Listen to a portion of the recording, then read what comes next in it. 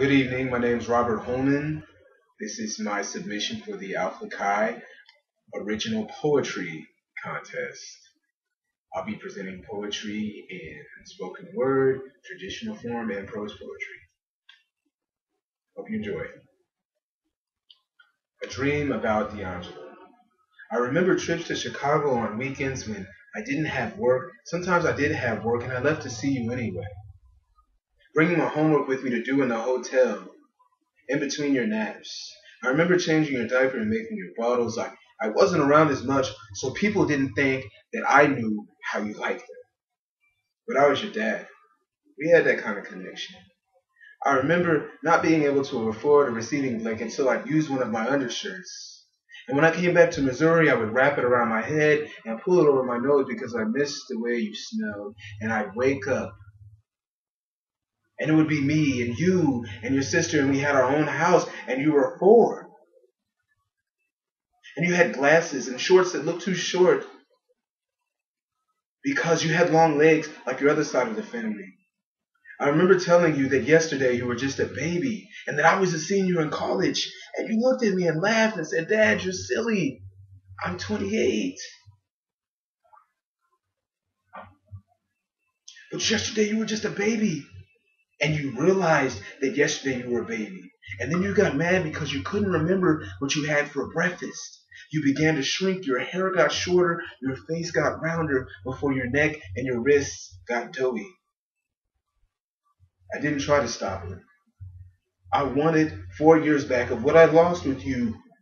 And we were happy once I held you and rocked you and made your bottles just how you like and rubbed A&D ointment on your rations. This time, I want you to know that I love you.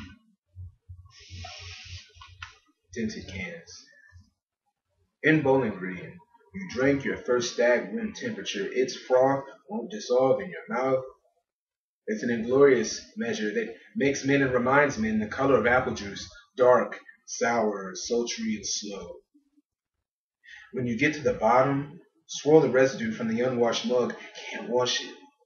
Loses flavor and gulp it down. Then crush the can.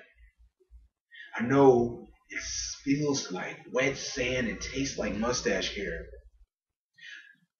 When the leftover grain settles in your gums, run your tongue along your cheek, peer through the bottom of the mug, and look for the room full of older men who brought Vietnamese wives back with them, and how they peek around the corner before passing by the doorway, entering the room, and leaving the room very carefully. Then slam the handled glass down and belch hard enough that you think you might vomit, but don't vomit, can't vomit. You're a man now, hands missing with fingers clasped to the boatman's bureau and Harbison Walker hats, tip forward off beat. If you're really a man's man, you'll head down the highway and turn on County Road A107 and challenge Cotton for some of this moonshine.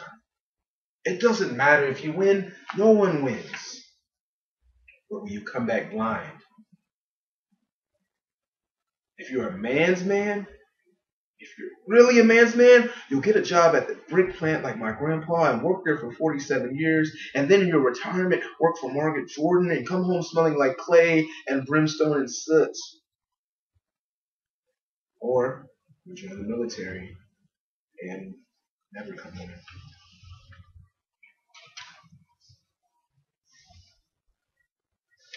Theme 14. An old white man named Cotton made us drink moonshine so that we could date his granddaughter.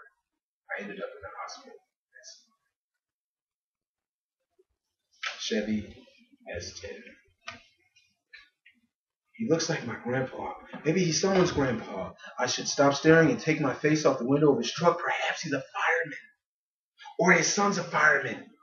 And his grandson went to the A&P with him and wants to be a fireman too. That would explain why there's a plastic hard hat and a toy Dalmatian in the truck cab. Or maybe his son died in a fire saving a woman whose house was burning because of grease and her husband died and he always put out the fires before they got too big when she started to cook. Now look, Yvonne, Flour puts out the fire, not water. I'm not always going to be around, Yvonne. But she forgot this time. She'd been forgetting a lot of things lately for a while.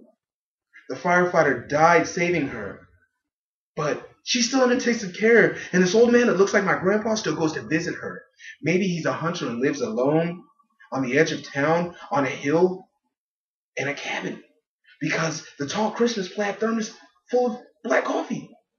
My grandpa liked black coffee. Maybe he's a Vietnam vet and he's shell shocked and he tore apart his family because he thought therapy was for sissies. Or maybe this hat belongs to his younger brother who always wanted to impress him, so he enlisted into the army and was blown to smithereens days before his damp, crumpled letter made it home. Hey y'all, doing okay. Lots of trees here. We'll be back soon. Or maybe he left his keys in the ignition so he won't get into a long, drawn out conversation and he needs a good excuse to avoid him. Maybe he doesn't like to talk about how it used to be and should stop staring and take my face off of his truck window. August 8, 1998. He only comes out to sit in the heat of the day and when the mosquitoes start coming. Naps are irrelevant, but they're spent reliving World War II and Ticonderoga plays in the background, and then Walker, Texas Ranger. The sky has painted itself a peculiar iridescent blue. The kind white curtains get when clouds crowd around the sun to hear a bedtime story. Sunset. What you know, good John Doe? Tell me, good kid. I know I left Texas running. Ha ha! Me too, right behind you. His favorite part was watching the grandkids catch fireflies and let them go. Gotta let them go. Don't go no further now, you hear? Okay, Papa. Your boy looked just like you, man. He called me over and put his arm next to mine. Ask him John Doe. Is he pure? He's getting black. Still ain't as black as you. Took you a while to get that black, homie. You catch it up quick, though. That was their joke. Is he pure? They laughed and I giggled and ran off. I stood under the trees to buzz like the locust until my lips were numb. Well, let me get on out of here. I can't see for driving. What'd you say tomorrow? Whiskey? Don't hurt me now. Got the family reunion tomorrow. We'll, we'll be back by this time, John Doe. Papa waited and waited and walked inside and took his shirt off. We were on our way out of the door, just finished kisses and hugs and see you tomorrows. John Doe pulled up and heard the wheezing and hacking all the way outside, that rocking back and forth. He knew that gripping phlegm and what it felt like to have soot in the bottom of your lungs and, and cough up a blood clot. August 9th, 1998. Learned how to ride my bike that day. I'm flying, I'm flying. You would be too. felt the table scoot across the linoleum. There was a deeper sound than, than, than a chair. Something I could feel in my little legs. I, my, my eight-year-old legs.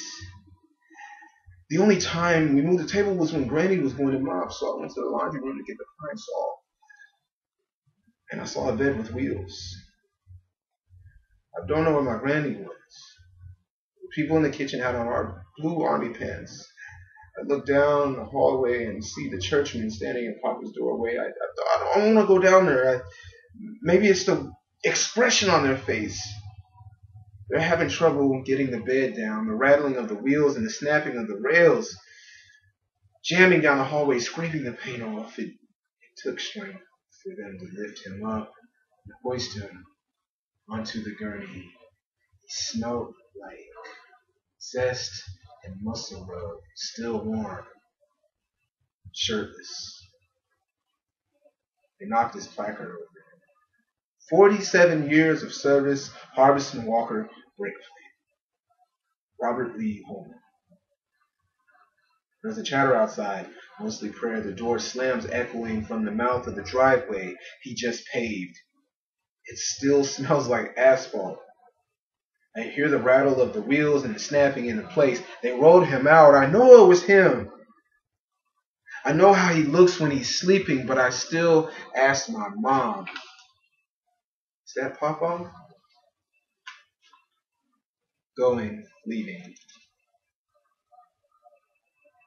July 7th, 1998. Call Barbara for her birthday, convince her to move back to Vandalia. That 30 miles is a dangerous drive. The morning didn't smell so sweet, almost out of strawberry jelly. I like it burnt on my toast. July 29th, 1998. Make Donna breakfast, wash her car for her birthday, save my appetite for Golden Corral. August 7th, 1998. 2 p.m. Having trouble making it up the two steps in the house with the groceries. All I can hear is blood in my ears. I had to stop. Eunice and Donna are worried. Daddy, why don't you just go to the doctor? I ain't letting them cut me up. August 8th, 1998. 11 a.m. The truck started up fine, went to the brick plant to see old friends of my grandson, need to get our haircuts, leaving at noon tomorrow. The tachometer is on zero. August 9th, 1998, 6 p.m. I made it back from the home in McPike reunion. The fever ain't gone down. 8.30, Joyce and the grandkids are on their way home. I feel the sand at the bottom of my lungs and taste gravel my neck is tight. Donna is screaming. Find the handkerchief. The coughs are too loud. The breathing compressions stop.